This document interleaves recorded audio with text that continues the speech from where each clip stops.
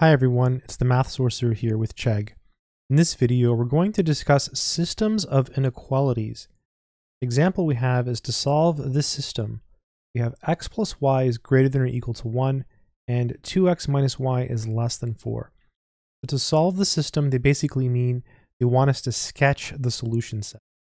Let's carefully work through this problem solution. So we're going to do one graph at a time, and then at the end, we're going to combine the graph. But first, let's start with the top piece. So first, we're going to look at x plus y greater than or equal to 1. That's the first thing we're going to focus on. And the first thing you want to do here now is you want to sketch the equality.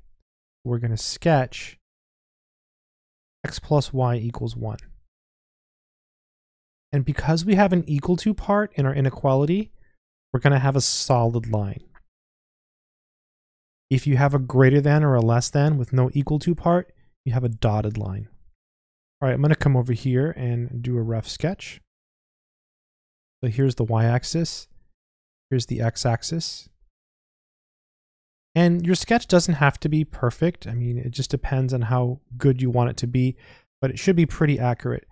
So I'm thinking we can just plug in 0 for x and 0 for y to get a pretty good picture here. So for example, if uh, we set x equal to 0. Then we're going to get 0 plus y equals 1. We get y equals 1. When x is 0, y is 1. When x is 0, y is 1. So that's going to give us a dot right here. And when y is 0, we're going to get basically x plus 0 equals 1. So x is 1 when y is 0, x is 1. When y is 0, x is 1. When y is 0, x is 1, we have a dot here. And this is a solid line, right? Because we have the equal to part in the inequalities. So we've sketched the line. Now we need to figure out where to shade. There's a couple ways to do it. A foolproof way is to use test points. So I'm going to pick a test point. So basically you pick any point that's not on this line. So a, good point to usually try is 0, 0, and that will work. So we're going to test 0, 0. You take your 0, 0, and you plug it into your inequality, x plus y greater than or equal to 1. So we get 0 plus 0 greater than or equal to 1. So 0 greater than or equal to 1. That is not true. No way. So we don't shade, right? Because 0, 0 is here at the origin. We picked 0, 0. It wasn't true. We shade in the other part. If it was true, we would shade where the test point is. So you plug in your test point. If it's true, you shade there. If it's not true, you shade in the other region. So we picked 0, 0. It wasn't true, so we shade in the other part. If it had been true, we would have shaded down here. All right, let's go to the next one now, which is 2x minus y less than 4. And we're going to follow the same steps. This is a very procedural thing. So now we're going to look at 2x minus y less than 4. And again, the first step here is to sketch the equality. So we're going to sketch 2x minus y equals 4. Okay, that's the first step, is to sketch that equality.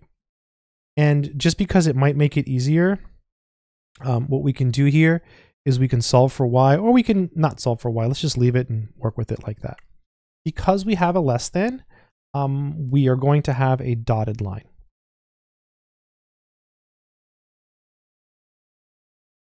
And so I'm going to do the sketch down here.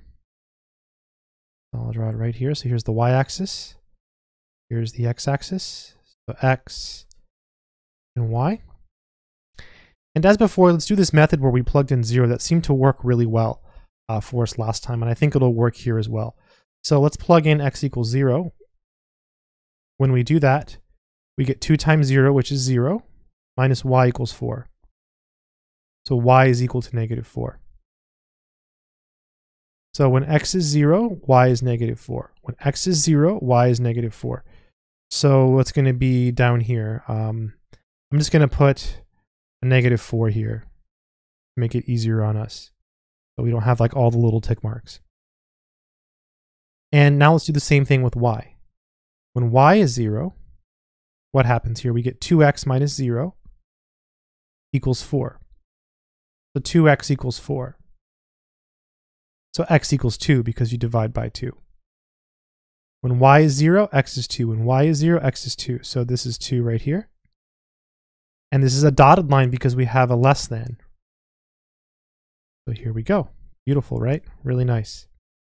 And now we need to pick test points. Let's try 0, 0 again because that worked out well for us last time. So test 0, 0. Again, we plug the test point into our inequality, 2x minus y less than 4. So we get 2 times 0, which is 0, minus 0, less than 4. So 0 is less than 4. That's actually true. so this time we shade, I'm going to use a different color. I'm going to use yellow. Shade over here. Right? Because it was true.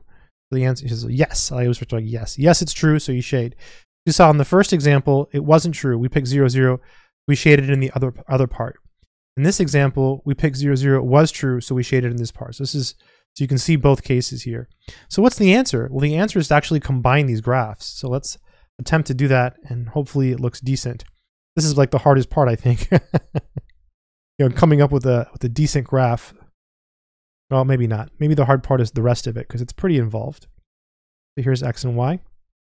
So let's go ahead and plot the first one. We knew um, it was here at 1, here at 1. And it's a line like this. It's a solid line. That's the first one. And the other one was a dotted line. So one of the points is here at 2, and one is down here at negative 4. So I'll just put um, negative 4 here. And this one was a dotted line. And so now you want to look at your graphs. And you want to think about where where where is it going to intersect, right? So basically, you've got the yellow and you've got the blue. So where do they meet, right? So basically, you're you're shading above both lines. So it's going to be right here in this red region. This red region here is going to be the solution set. You see, it's where they intersect. I'm actually going to attempt to show you now. So watch this. So we're going to do yellow. And then we're going to do blue. And you see where the yellow meets the blue? That's the red, right? Boom, there it is. That's what we want. It's where it's where the yellow meets the blue. So it's this red region here. Hopefully this video has taught you some mathematics. This uh, type of problem is quite interesting. It takes a, a bit of practice uh, because you have to do a bunch of graphs. You have to do test points. Hopefully it's made you a little bit better at math If you enjoyed this video, make sure to check out more videos on Chegg. Until next time, good luck.